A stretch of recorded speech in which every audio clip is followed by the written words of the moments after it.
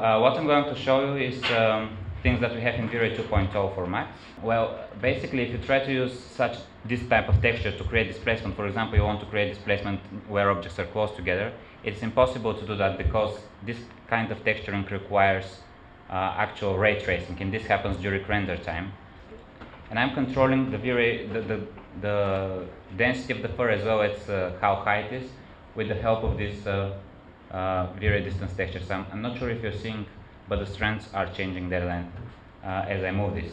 And also if you're animating a character running on grass, for example, uh, very easy to set up. You don't just a simple texture that's procedural, and you don't have to have a different texture for each frame of the animation.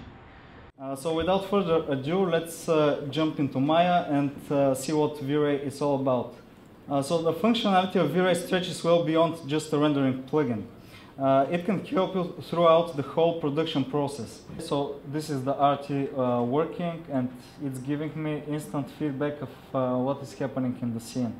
Uh, of course I can move the camera around and uh, the RT will respond immediately. Move the sun around and the, the RT will refresh the information. Uh, of course I can change the materials and basically you can do whatever you want.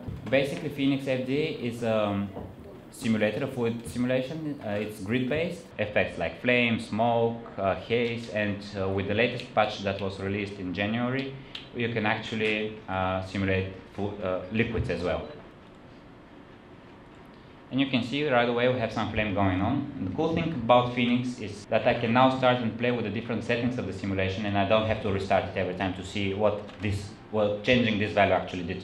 I can even move the object and uh, Phoenix will react. Uh, you will see exactly what's going on within the simulation.